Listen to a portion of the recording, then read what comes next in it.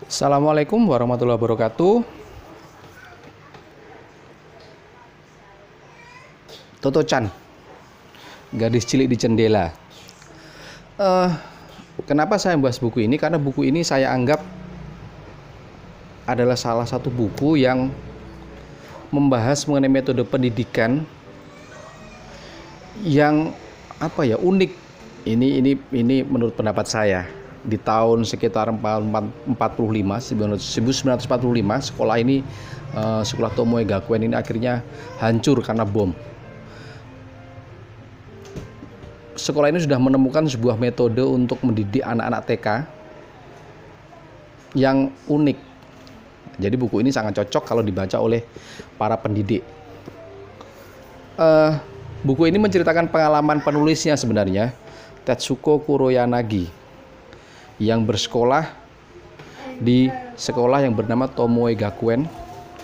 Karena si penulis ini beberapa kali dikeluarkan dari sekolah sebelumnya ketika TK bayangkan ketika TK dia udah dikeluarkan dari beberapa sekolah karena dianggap di TK sebelumnya adalah anak yang nakal atau bandel.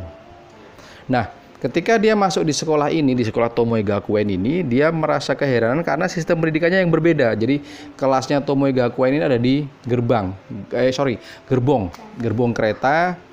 Dan murid siswanya bisa memilih pelajaran apa yang pengen dia ikuti setiap harinya. Misalnya uh, hari itu dia pengen ikut pelajaran pengen menggambar dulu boleh silahkan.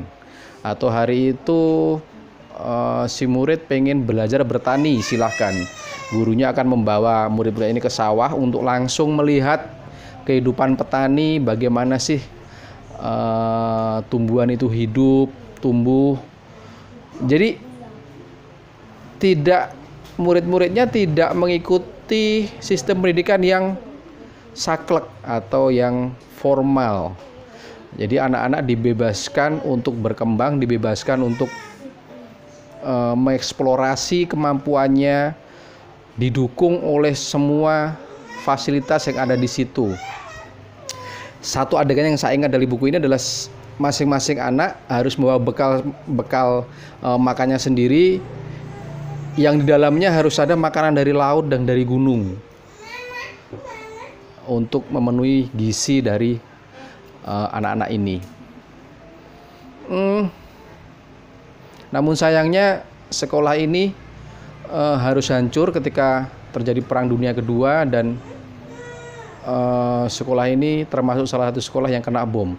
Namun alumninya si Tetsuko Kuroyanagi ini sangat Eh, terkesan dengan sistem pendidikan yang dikembangkan di sekolah ini dan akhirnya menulis buku yang berjudul Toto Chan. Buku yang sangat menginspirasi menurut saya dan layak dibaca oleh para pendidik bahkan oleh orang-orang tua sekarang.